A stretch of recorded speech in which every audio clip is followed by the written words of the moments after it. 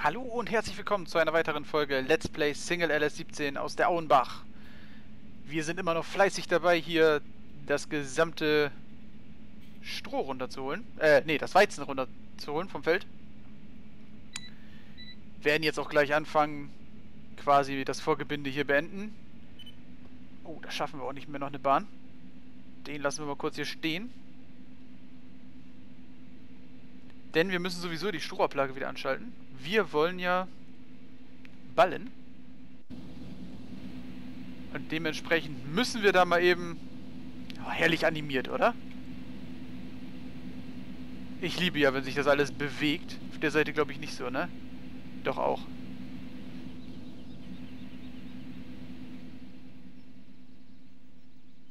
Ist mir jetzt gerade aufgefallen. Ah, da wollen wir uns mal hier wieder unseren kleinen schnappen. Da ist ja auch voll, glaube ich, ne? Oh ja. Oh.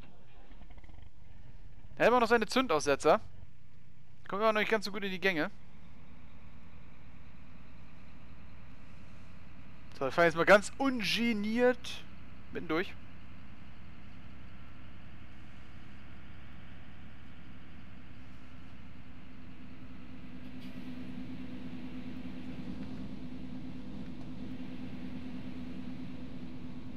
Ja, das passt. Sehr schön. Also ich kann nach wie vor sagen, für mich persönlich eine sehr, sehr, sehr, sehr gelungene Map. Ja, macht immer mehr Spaß, auf der zu spielen. Und gerade wie schon erwähnt mit den alten Maschinen, die ich hier benutzen möchte. Gefällt mir richtig gut. Also jeder, der auf alte Maschinen steht, für den sei das hier wärmstens ans Herz gelegt. So, habe ich jetzt die Strohablage angeschaltet? Ja.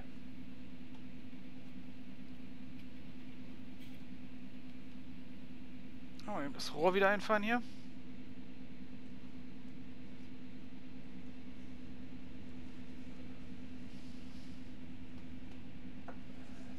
Und weiter geht's.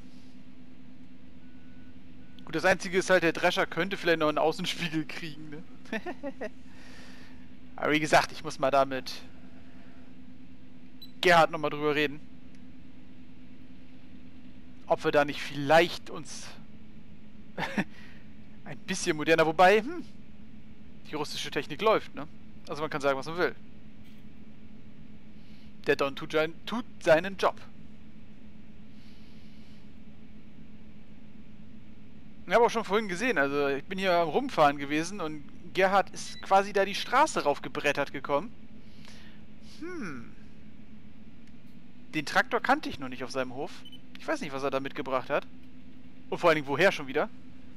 Eigentlich sagt er immer hier, er hat nicht so das Geld.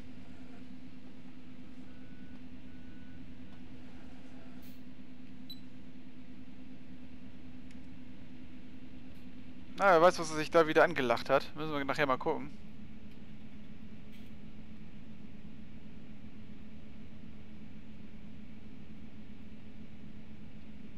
Ich hoffe mal nicht, dass er sich da wieder irgendeine neue Maschine gekauft hat. Das sollte er mich nämlich lieber machen lassen.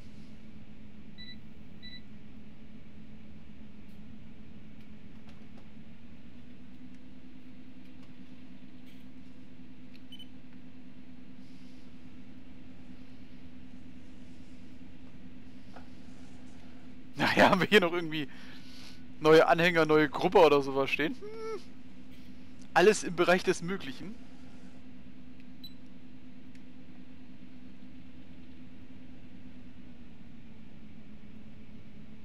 Ich hoffe mal nicht. Also Maria hat auch schon angefragt, das ist der, der das Feld 7 gehört da drüben. Ich habe auch schon angefragt, ob ich ihr helfen kann. Sie hat gesehen, als ich hier über den Hof wäre. Sie hat zuerst gedacht, Gerhard knattert hier wieder durch die Gegend. Aber als sie dann gesehen hat, dass nicht Gerhard auf dem tollen Drescher hier sitzt, hat sie dann gleich mal gesagt, ah, könntest du mir vielleicht auch helfen? Kriegen wir hin. Also. Ja, ich habe gesagt, das kriegen wir alles hin.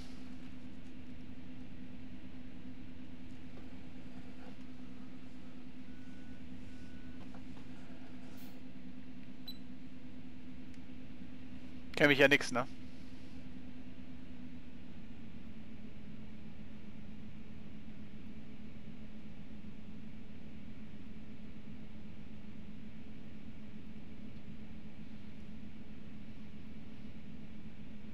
Na, mal gucken.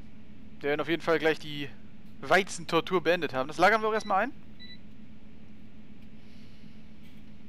Und schauen dann mal, wie sich da alles weitere verhält. Balla. Ja, ein bisschen stürmisch hier am Lenkrad. Ja, da war auch wieder ziemlich weit gefahren.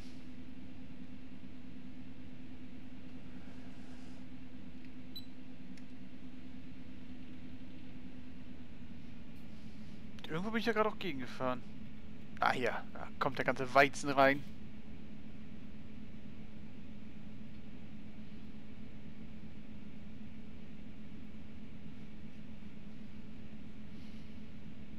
Äh, falls die ein, der eine oder andere sich fragt, wieso denn GPS? Das Ding hat doch gar kein GPS. Ja, das ist richtig. Der Drescher hat kein GPS, aber mein Handy.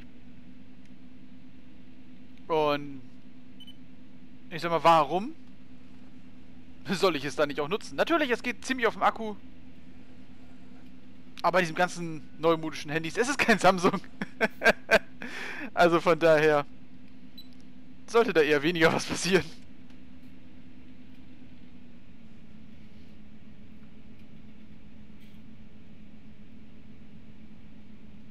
Und dann schauen wir mal.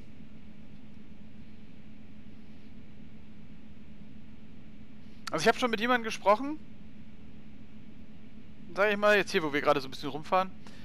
Ähm, es macht Sinn auf jeden Fall beim FSM-Modding-Team die Augen und Ohren offen zu halten.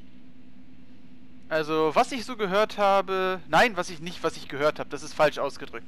Man munkelt, was noch alles bei der Auenbach kommen soll. Und, ähm, ja, was noch kommen soll, ist jetzt auch wieder falsch ausgedrückt. Also, ne, man hört ja immer mal wieder was. Ich habe es noch nicht von offizieller Seite gehört. Von daher ne, ist es jetzt einfach nur für mich mal so dahingesagt. Aber ich werde die Auenbach auf jeden Fall erst, erst ziemlich lange weiterspielen, weil es sollen einige noch recht schöne Sachen vielleicht kommen. Und ihr kennt es von mir, ich habe die Ackendorf gespielt. Und dementsprechend was da drauf war, das fand ich schon richtig genial. Oh, wenn davon auch nur, ich sag mal, ein Bruchteil übernommen wird, auch gerade wenn dann später die ganzen neuen Sachen kommen quasi. Äh, also, es könnte sein, dass ich diese Map quasi komplett LS17 überspiele. Mit vielleicht mal Ausnahmen. Sage ich jetzt mal. Ja, gerade wenn man mal vielleicht neuere Maschinen oder sowas präsentieren möchte, das möchte ich hier nicht unbedingt machen. Hier bleibe ich bei meinen Eingesessenen, weil es ist einfach, ist genial. Wie gesagt, ich brauche unbedingt noch einen MB-Truck, einen 1800er, vielleicht so ein Intercooler mit vorne einer Zapfwelle dran und vorne einer Frontladerkonsole. Also quasi für die Aufnahme von vorne. Oder auch ein kleinerer. Also ist überhaupt kein Thema. Hauptsache, er kann vorne ein Mähwerk transportieren. Das wäre schon mal echt sehr nice. Also, wenn irgendwer jemanden kennt, der einen MB-Truck hat, Gerne auch als Privatmod, weil hier auf dieser Map wird keiner mit drauf spielen außer mir. Und es wird auch keiner diese Mods bekommen, die hier drauf sind, wenn es Privatmods sind. Ich habe euch das schon mal gesagt. Wenn Privatmod ist, werde ich das dementsprechend auch sagen. Ne? Und ansonsten findet ihr diese Mods auf Forbidden Mods. Oder über den Mod Hub oder über Mod Hoster. Wobei überwiegend Forbidden Mods.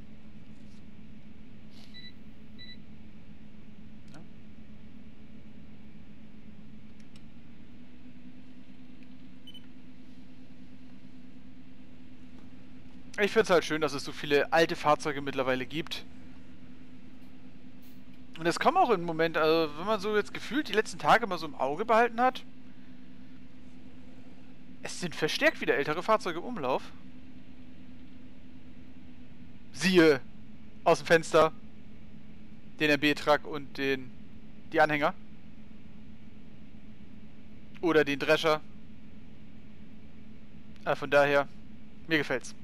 Diese ganze neumodische Kram, also, hm, kannst du fahren, ja natürlich, klar. Sind ja auch super Dinger. Aber das hier, das gefällt mir.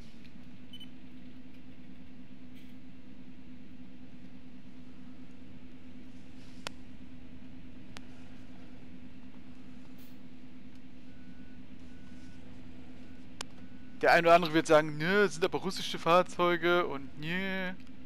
Ja, sind es.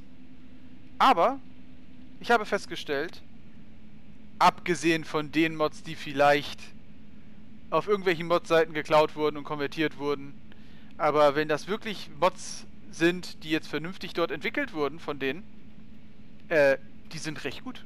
Also da können sich einige deutsche Mods wenn es jetzt nicht gerade von den großen Mod-Schmieden sind, die können sich echt eine Scheibe von abschneiden. Also teilweise haben die, die Mods aus Russland, jetzt so hier so Don und, und wie heißen die Traktoren? Belarus?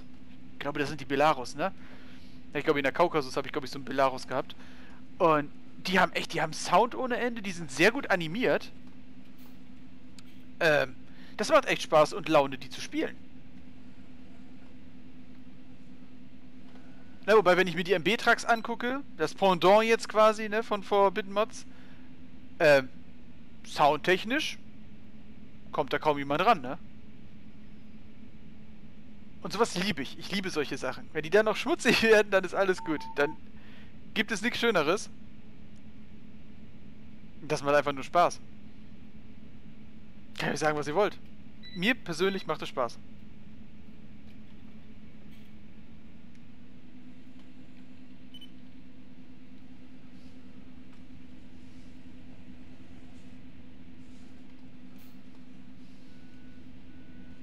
Oh, wird glaube ich nichts in einer Bahn. Müssen wir zweites Mal. Aber passt, hier ist auch gleich die Feldausfahrt. Besser timen konnten wir es gar nicht. ja, dann können wir gleich auch mal ordentlich Ballen machen, würde ich sagen. Dann muss ich gleich, das lässt mir keine Ruhe. Ich muss gleich erstmal schauen, was Gerhard da schon wieder gekauft hat. Oder was er da mit was er rumgefahren ist. Vielleicht habe ich mich einfach nur getäuscht und das ist ein Traktor hier, den er schon hatte.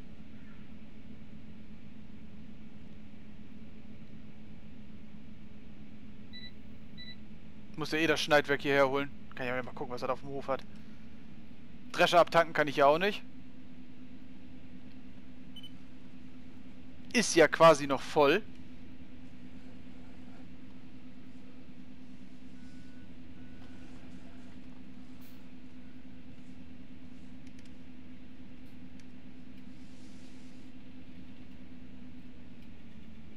Hätte ich so einen dritten Anhänger hinterhängen müssen.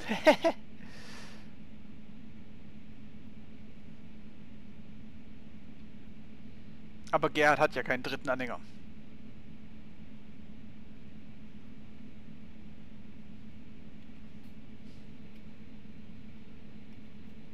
Ja, stopp.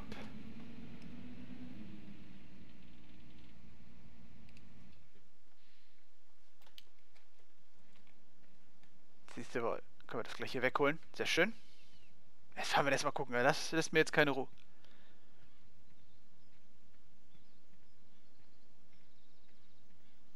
Hängt aber ein Bacon tief hier, ne? Wieso macht er denn das nicht oben ins Maul? Das ist doch ganz normal, der...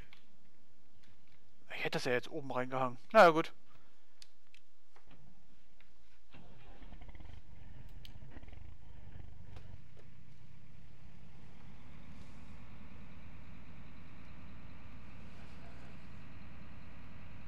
Achso, wir haben ja jetzt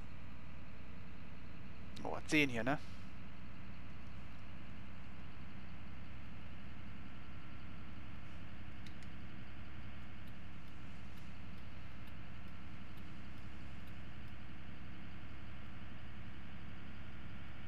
Brauchen wir gleich nur noch einen Anhänger.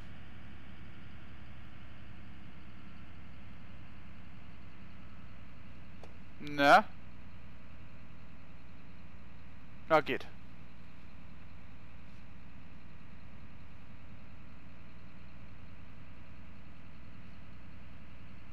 Da haben wir jetzt aber Stroh, du. Hier steht immer noch der Schneidwerkswagen.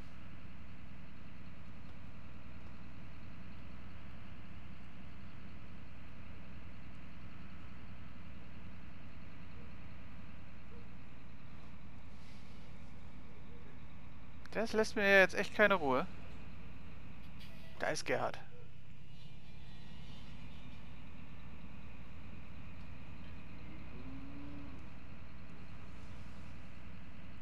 Mal Gerhard. Hallo. Gerhard? Geht die Tür nicht auf? Die Tür geht nicht auf. Doch, jetzt. Äh, ist er wieder weg? Wo ist er hin? Gerhard! Ja, ich hab dich vorhin gesehen. Sag mal, welcher Traktor war denn das, mit dem du da gerade gekommen bist?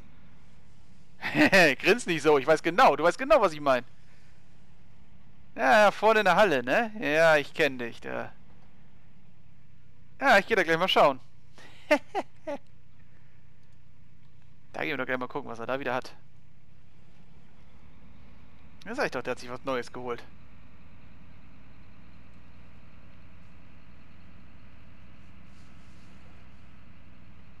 Upp.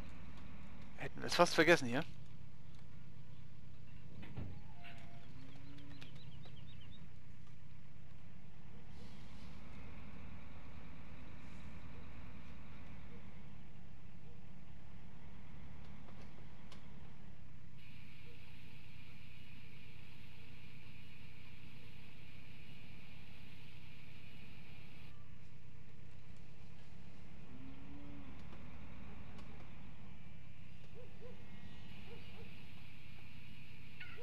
Hat er nicht ganz abgekippt?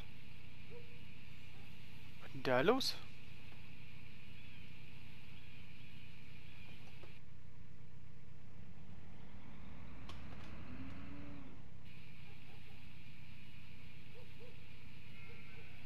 Zack. Also, Gerd hat gesagt, vorne in der Halle. Dann schauen wir doch mal, was er da hat.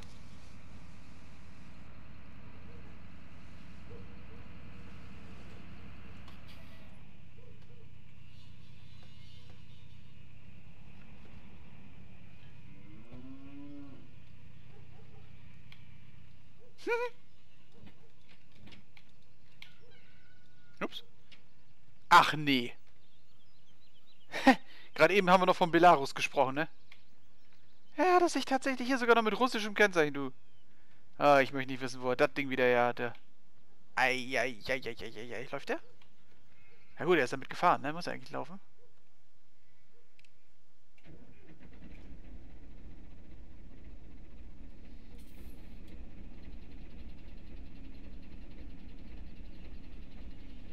Läuft auf jeden Fall ein bisschen unrund.